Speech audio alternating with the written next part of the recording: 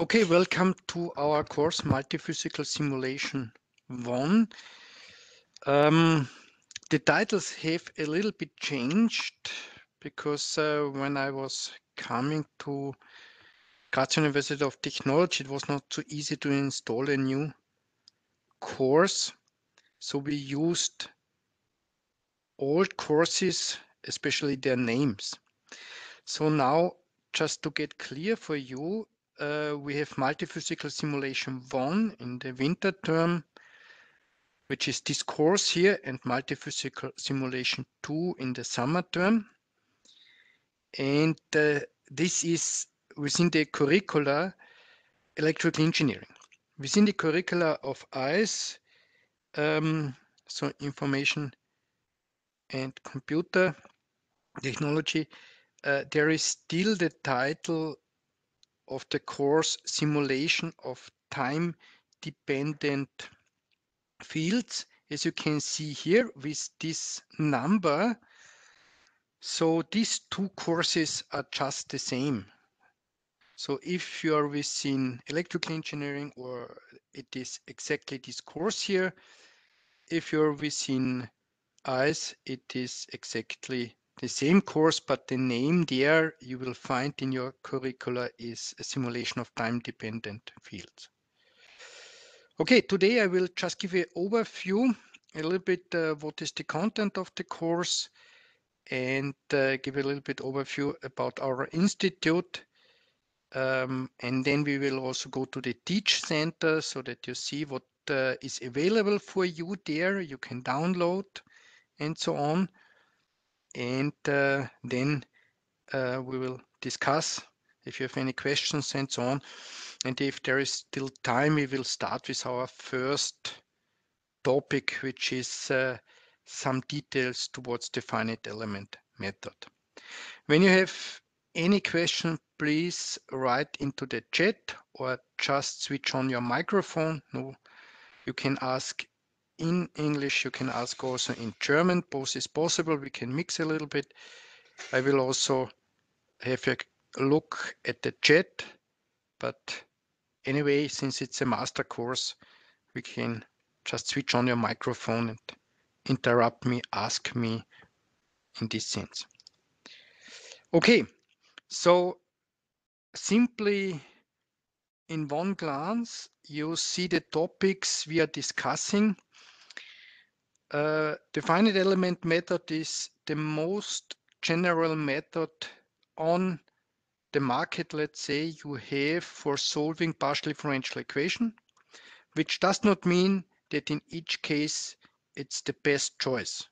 Best choice, let's say for us in science means you want to have a numerical solution as fast and as accurate as possible. So this is not for each case the finite element method, but for most cases, and therefore we concentrate on the finite element method. Which physical fields we will uh, discuss? We will discuss uh, the electric flow equation as well as the electrostatic equation and the mechanical equation as well as the acoustic partial differential equation, so the classical wave equation. And the couplings we will concentrate on is the electric flow heat coupling, which is of great importance in practice uh, for bus bars or especially power electronics.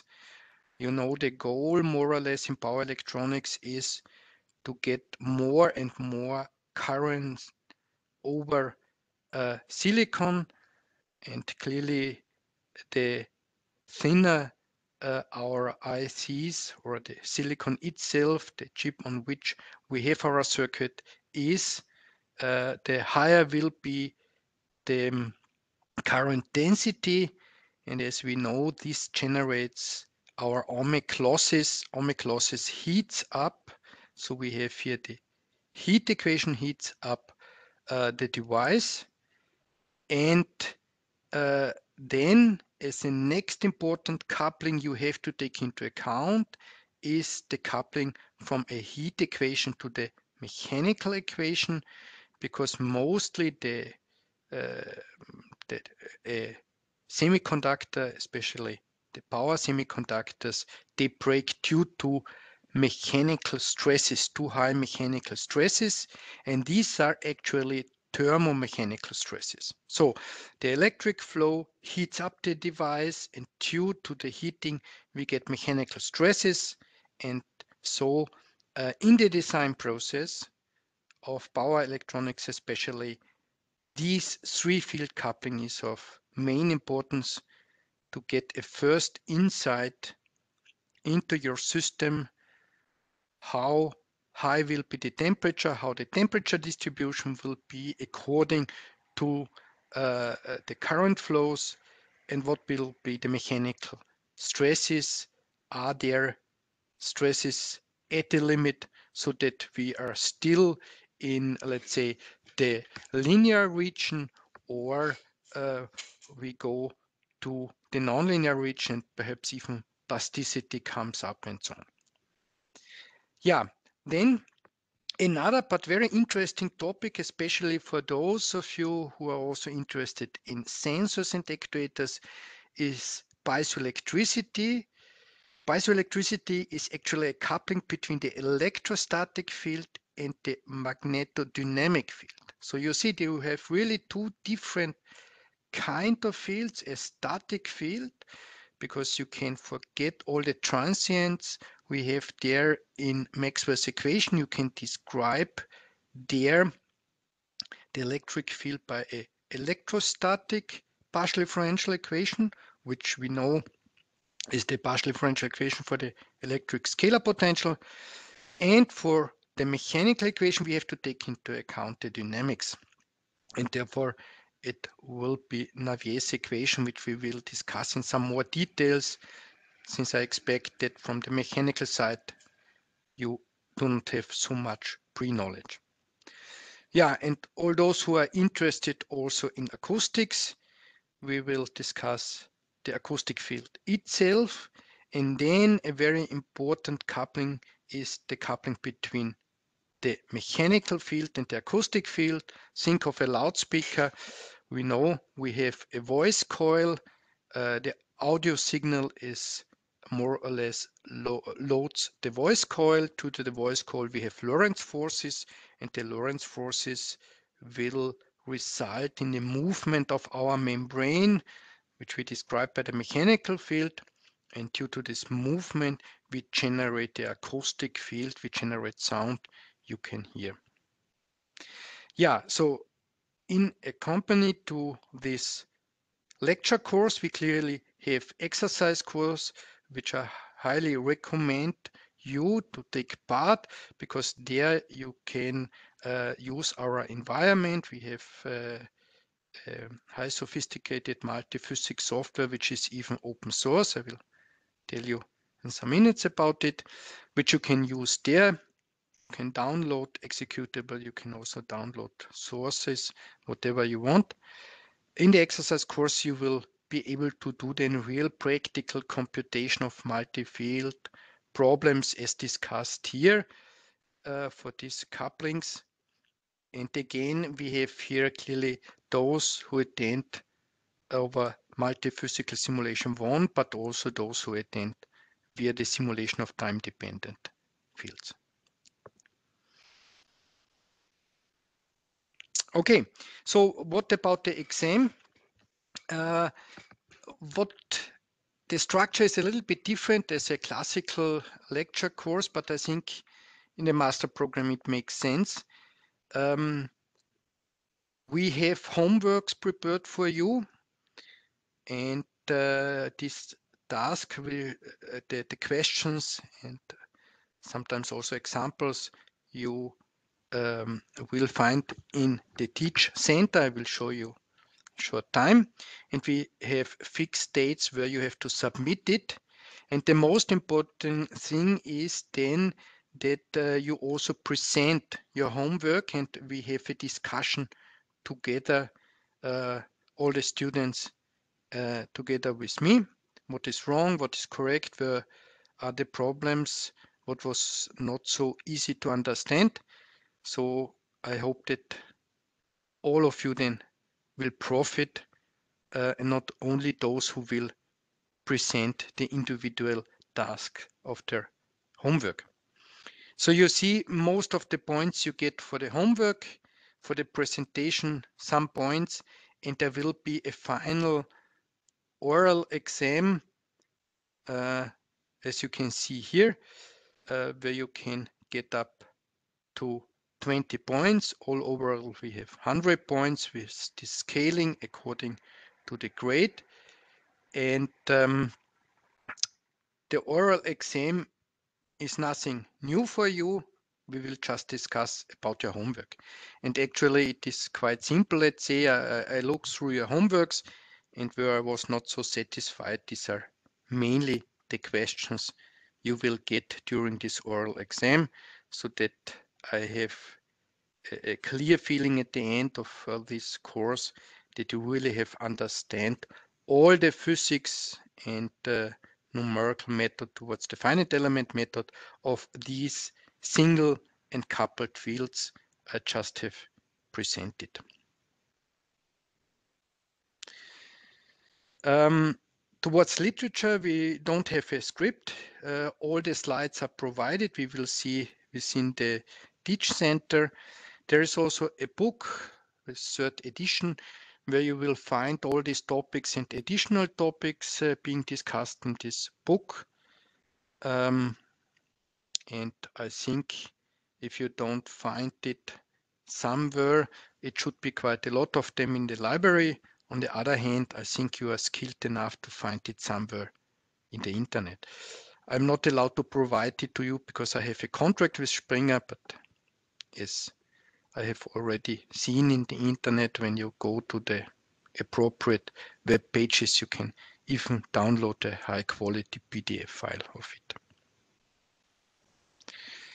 Okay, so this is uh, the Institute of Fundamentals and Theory of Electrical Engineering. Have quite some associate professors and postdocs, quite a number of PhDs, also quite a number of external PhDs, but this has mainly to do that I have moved from Vienna to Graz and I have still some PhD students at Vienna University of Technology. I'm very proud that we have quite some uh, students also employed within research projects 10 to up to 15 hours per week. And we are still searching for students who are interested to work with us together on our different research projects. So um, from the teaching point of view now in the master course, as I have told you, we, we have uh, three courses towards multi-physical modeling and simulation. The basic course given by Thomas Bauernfeind simulation of mechatronic system, and then the two courses, multi-physical simulation one and two. We have two courses um, towards optimization, where also inverse problems will pop up in the second course of uh, this uh, parts, uh, where inverse problems for us is mainly the sense towards the um, determination of material parameters. As you know, in most cases, we cannot measure the material parameters directly, so we just can measure global quantities like electrical impedance uh, or uh, the, the power loss or whatever. And then we try to fit the numerical simulation result with the measurement result of these global quantities. And as uh, fitting parameters are the material parameters and hopefully we come up to our correct material parameters. So this is a very important topic, especially if you want to do simulations, you need very good and precise material models, but when you have such materials models, you always have parameters in which you have to get uh, from pure experiments or a combination as called with these inverse problems of simulation and experiments. And we also have uh, two courses, who, all of those who are interested towards acoustics. One special course is aeroacoustics, which is flow-induced sound. So when I'm speaking, this is actually not vibrational sound. It is a sound which is generated out of the flow, which we get due to a pressure difference between the lungs and outside of the mouth and the flow then uh, has an impact on our vocal folds and they vibrate but not the vibration of the vocal folds give us uh, the voice. It's really due to the flow we have there.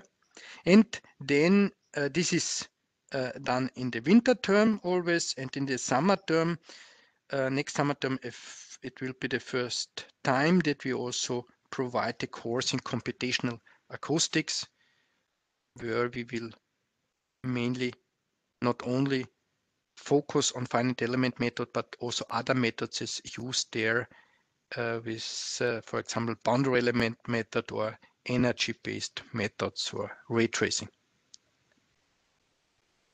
This is the software we are using, which uh, have been developed within the last 20 years with a lot of PhD students of mine. And we have currently three universities at which the software is further developed. It's the University of Erlangen-Nuremberg in Germany, where I was for almost nine years, then Vienna University of Technology, and now here in Graz. And you can also look it up. It's simply just put in into Google OpenCFS and you should get the web page or directly use this um, this expression here and put it into Google. It is a multi-physics software, so you see we have quite some single fields which we can solve with the finite element method, a lot of coupled fields. And we have special topics. One of the special topics we will a little bit discuss in detail. We will discuss it in multiphysical simulation 2, so-called non-conforming meshes. So uh, you can have totally different meshes in different subdomains and we just glue them together with mathematical methods, let's say. And as I've told, the important parts are always for us, especially um, in fundamental research, but also applied research with industry optimization and inverse problems. We also have uh, now for some time a lab where we can do quite a lot of uh, measurements there, especially for the characterization of materials. So I go just to the next slide where you see here the classical Epstein frame, which is a measurement setup where you can characterize the ferromagnetic behavior of electric steel sheets. So these are steel sheets which you put into these four coils and each of this coil consists of an excitation coil and the measurement coil. And with this setup, you can measure the hysteretic behavior of any ferromagnetic material and then get out the hysteresis curve so that you can fit your hysteresis operator you're using, for example, in a finite element simulation where you just compute out a commutation curve, so a nonlinear curve or the anhysteretic curve and so on. Interesting part here is this transformer benchmark uh, the setup of transformers is quite complicated. The steel sheets are quite thin. They are 0.3 millimeter in thickness. So you can imagine that you have thousands of such sheets in a real power transformer. And it is clearly not be possible to resolve all these details then with a finite element simulation. So you need homogenization or a main topic is for us to really understand how the magnetic flux, the magnetic field line goes, how it is saturated, and all the things where we have locally the largest losses. And for this, you need full 3D simulation with hysteresis operator and so on. And that is just a, a test benchmark where we had just some few steel sheets here and uh, we had here the excitation coils but in addition that's now not really seen. We also had here sensing coils and so on. Another very important uh, um, setup here which is uh, of great importance for us for characterization especially permanent magnets is this one here. So on this bar we have a 3d hall sensor so a hall sensor can measure in thickness direction the magnetic field component. There are three Hall sensors, so we get in each point the all three components of the magnetic flux density. And in addition, we have here an optical sensor, so we can scan our uh, um, setup, and then we really know at which position we have which magnetic field. And that makes it quite attractive. For example to measure the magnetic field around a permanent magnet and then with some uh, inverse methods get also the magnetic field how the magnetic field looks inside. You know this is one of the big challenges still not solved uh, how to get the magnetic field inside a solid uh, we cannot drill it and, and put a Hall or GMR sensor or whatever there. So we really can just do numerical simulation and hopefully in the visualization we can look inside the material, but we are not clearly sure if this is uh, physics what we do because we cannot get there uh, any measurements in this sense. Yeah, and we also have uh, quite some setups towards uh, the characterization of acoustic absorbers especially. So we are also working a little bit towards acoustic metamaterials. How can we uh, absorb acoustic fields more effectively, uh, for example, uh, with application in cars or in rooms and so on. So this is one of the projects. I, I just will show you some selected research projects. Uh, the steel sheets uh, you can see this is a single steel sheet. And uh, on this steel sheet you can even see the grains. So this is here a grain here a grain. And uh, perhaps you know a grain consists of uh, millions of uh, domains. We call this Weiss domains and uh, you see that this is uh, quite an interesting texture you have. Rolling direction is in this direction. So due to this special treatment, you will always have the best magnetic properties and therefore the smallest um, losses in rolling direction. And off rolling direction would be here. But it is not the case that in this direction uh, you have the worst uh, magnetic property, very interesting for this special uh, materials is that it is about 80 degree, uh, sorry, 60 degree. Here is zero degrees rolling direction. And if you go here down 60 degree, then mostly you have there a, uh, a direction where we have most of the losses. So the magnetic properties are not as good as we wanted to have. And now you can imagine here you see such a core of a transformer and uh, here is just a 3D simulation and the main interesting parts are this so-called L-shaped domain and this is called the T-shaped domain. So if you have an excitation by a current through a coil on this core, then the magnetic flux lines just go up or down in this direction. That will be in rolling direction, no problem. But then it has to turn over to the uh, sheets we have along here. And so it also has to turn over from one sheet to the other sheets over the small air gaps we have within the L-shaped domain.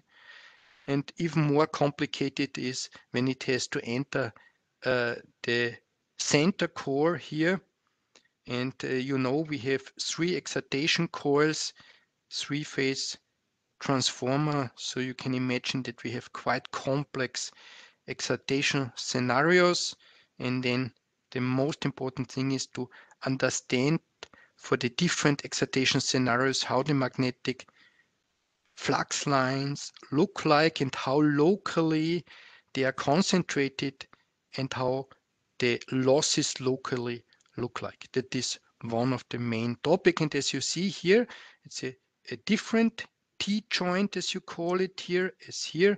So one of the topic here is clearly how can we geometrically change the topology of this step lap uh, steel sheets stacked together in order to reduce, for example, the losses.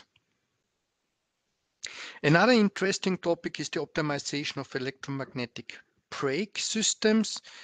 Um, this, what you see here for subways uh, or trams or uh, clearly trains, it is a emergency brake. And for the emergency brake, this is actually the core. Around the core, we have the coil, and that is your brake. And when you put the current through this coil, you will have here the magnetic flux lines, and they will close over um, the rail. And due to the, the electromagnetic force, which is a attractive force, we just have an attractive force because it is directly proportional to the square of the magnetic flux density. So it's not of interest in which, which direction the flow, uh, the current is going through the coil. It really is a brake where we get into contact between our brake and the rail uh, system itself.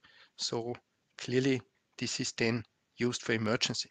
And the main topic here is how can we design the core and the coil in order to make the brake smaller and smaller in volume as well as weight, but still have the same electromagnetic force acting on it.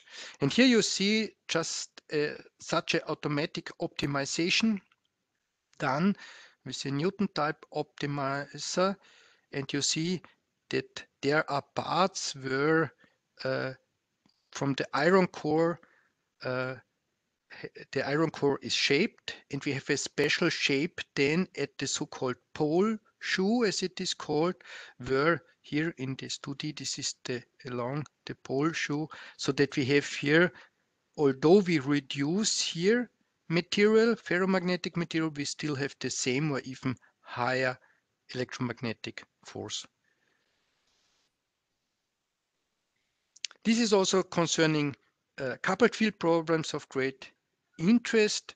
We have quite nice uh, cooperation with Berndorf group where uh, these steel sheets needs to be heated up and you heat them up as you do since quite some years in the kitchen so you have induction heating. So you you put a coil around this steel sheet and then you load it with a current and due to the induced eddy currents in the steel sheet we heat up the steel sheet. And uh, what is of most utmost importance is that along here uh, this steel sheet you have more or less a homogeneous temperature distribution, yeah? which is not possible with a standard coil because you will always have a higher heating at the edges here. Now the question is how can we design such coils in order that uh, along this direction perpendicular to the rolling direction because these are moving steel bands or sheets uh, that we really get a homogeneous temperature distribution. Yeah, and something which is a, a, little bit different, I would say, since we also have a group towards uh, acoustic fibro and aeroacoustics, as I have told you. Um, exactly this is, let's say, the motor generating the primary voice here is a cross section. What do we have? Here it goes down to the length. Here it goes up to the mouth and nose. And this is, let's say, the motor. Yeah? And what do we have there? We have there, this part is the left vocal fold. This is the right vocal fold.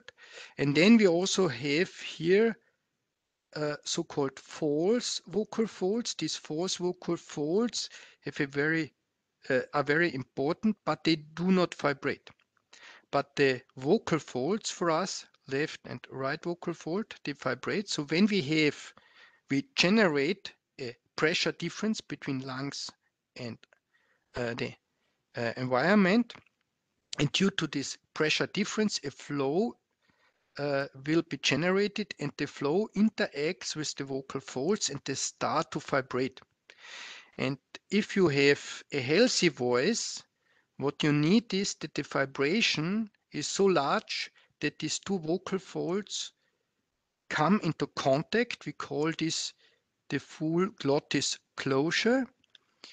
And so you can imagine what great motor actually this is because uh, for males it is about 120 times a second for female about 200 to 220 times per second they get into contact and due to this contact and the separation of the flow you generate a, a fundamental frequency which is exactly this frequency I told you so it is for male about 120 hertz, for female around 240, 220, 240 hertz. And then due to this additional vortices you generate here, you get additional frequency content. And this then goes up to the mouth and nose region. And this is a kind of a filter for us. Yeah. So some frequencies are filtered out, some are amplified, so the amplitudes at this frequency are amplified, and that shapes then your voice. And um, for example, looking like this here, again, here, let's say here is the lung, and here it is going towards the mouth or nose. So here are the vocal folds, they start to vibrate, they open and close. The false vocal folds are more or less fixed. And what is visualized here are the acoustic sources. This looks very much like the vortical structures of the flow, but actually it is what is visualized are really the acoustic sources. And we are interested for the different scenarios, also for scenarios where patients have a problem with their voice, how the flow, how the acoustic sources uh, change in order to get a better physical understanding and hopefully get good ideas what medical doctors should do when we have any problems with our voice in order to get back the good quality. Okay, so these are the four research groups we have. So you see, uh, we have here this multi-physical modeling and simulation group. Uh, the head of this group is uh, Klaus Roppert. This is also a course uh, we are teaching here towards this multi-physical modeling and simulation group. We have the high frequency group headed uh, by Thomas Bauernfeind. We have the optimization and inverse group headed by Alice Köstinger-Reinbacher and the aeroacoustic and vibroacoustic group, which is headed by Stefan Schoder. Okay, so this was a, a overview about uh, the institutes and uh, how we are related to this course. And I have told you a little bit about the content. Now I would say we go to the Teach Center. Um, I hope you already have access. If you do not have access because there are some problems, we had to change something just on Monday, so yesterday, uh, please let me know. I, I just put you in so that you have access. Well, that's the first lecture of this course. If I'm looking there, we have 23 participants. Uh, actually, I would like, or we even have reserved here, this lecture room, uh, which is I14. And if you are interested in it, we could switch and have the course in present in this lecture room.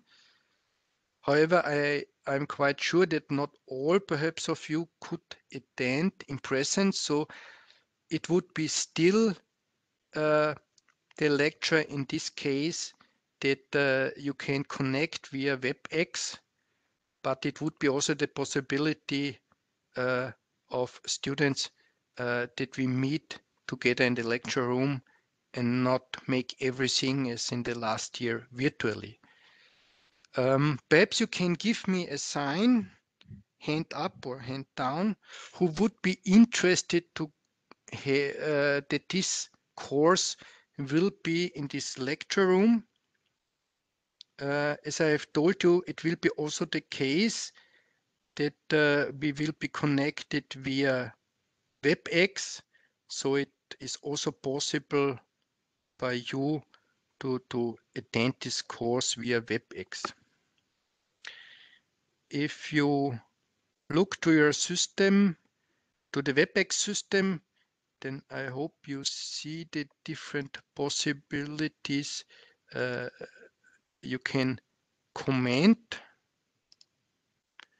So where is it for me? It has just changed a little bit.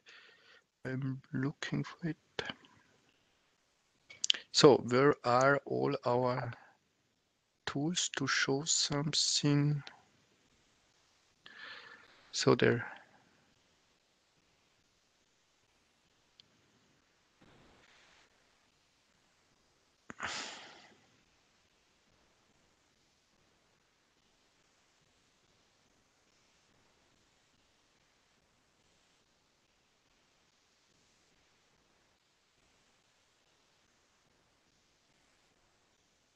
Okay, why I don't see it? Perhaps you just see it, but I thought I should also see it. Can you give some signs, hand up or hand down? Who would be interested that uh, we switch starting with next uh, week to have it in presence? But for all of you, no problem. Uh, we, I would make then two groups. So currently, due to COVID, the room just um, for the, for this room just 18 people can enter. Okay yeah fine. Okay so i see that somehow you are separated more or less if i look at the chat or the signs. Uh -huh, now I, I check it because this was not I have to make it larger. Okay Okay, so I will make, since we are a little bit more than 18, I will make uh, two groups in the Teach Center. And uh, then uh, you can just enter one of these groups. And uh, if I see that it is less than 18 or maximum 18, then we don't have to switch uh, you. And you can come in each week in the lecture room. And uh, yeah, what I should also tell to you, uh, I have the link here to YouTube. So when you sw uh, switch on it, then you see all the videos we have recorded last year of this course and the content is not changing. Yeah, so it will be the same content as we will have this semester. Anyway, perhaps uh, in some parts I will focus more or less, but all of those also who are interested um, and sometimes you cannot attend the course, you will find all uh, videos from the course of the last winter term at this link. So this is also provided here. Um, I guess I, I, just record currently this course, but I, the question if it is if it is really necessary to record also this course each time since we have the videos of the last year and the content is not changing. This video I, I just make because we have also this additional information about the course itself. Yeah, and if you go down, we have lecture notes. So if you go there, you, you have just, just the slides of the introduction and motivation, what I have shown you currently. And you have the whole slides of the course for all the topics we are discussing and sometimes some additional material. There will be perhaps some other additional material which I will put always in this part here. Okay, so this is uh, the section lecture notes. And then there is this section homework. And uh, if you switch on this, then you see uh, the following that uh, uh, there is a, a deadline and let's say you see the PDF of uh, this task. Let's open one of them. Okay, it's on the wrong screen, but I get it to the screen so that you can see it. Yeah, and this is uh, the PDF. And as you can see then here, it is the following that there are questions and you should answer all the question or here you have to do a derivation to get out of this partial differential equation. It is actually a heat equation with some additional convective term. Yeah, and uh, you can do it uh, and, and, and make a LaTeX document with PDF LaTeX, but you can also write it by hand and scan it at the end. Uh, what I expect is that you upload a PDF file. I will look at this PDF file, make the correction, make it available to you so you, that you see uh, what uh, was good and where I was not so satisfied. And as I have told you, then we will always have uh, the discussions about this exercises here or this task you have to do. So you see, these are five tasks where you have to prepare such a document and we will discuss about all these questions and derivations uh, then also in our lecture course so that we have a discussion all together and learn from each other. Yeah, and that, as I have told you, will be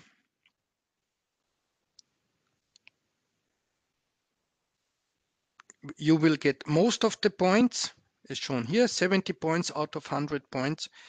Uh, when you present one of the task you get up to 10 points and uh, the final oral exam also you can get up to 20 points. But you already the final exam you have to do so that I see you once via WebEx or directly in presence. Uh, but as you see already, if you get here the full points, it would be already a good. Okay, with this system, I try that uh, you are always on track and, and you more or less get the highest benefit out of this course. Okay, are there any questions or do you have comments or questions towards the organization of the course, the tasks you have to do? Clearly, when I see that we do not be as fast as I expect, I will also change. So you see the second task, if you go there, the uh, date latest date to hand it in is the 11th of November here. If I see, okay, I'm not as far as I expected, no problem, I will then change always uh, these dates here accordingly. And it is um, done in such a way that it is three to four days before the next lecture course. So in these days, I will correct them and then in the coming up lecture course, I we will have the discussion.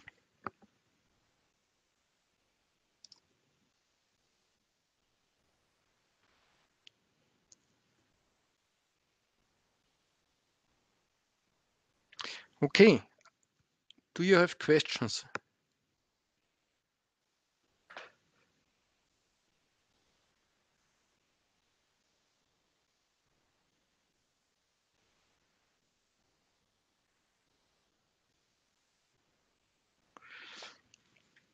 Okay, fine. I see in the chat that there are quite some students of you who prefer online. So I guess at the end that there will be no problem for those who want to be in presence that you can be in present present each week and uh, for all those who want to follow it online it will be again according uh, to our um, room it is actually my private room here at uh, Graz University of Technology where we always will have our lecture course.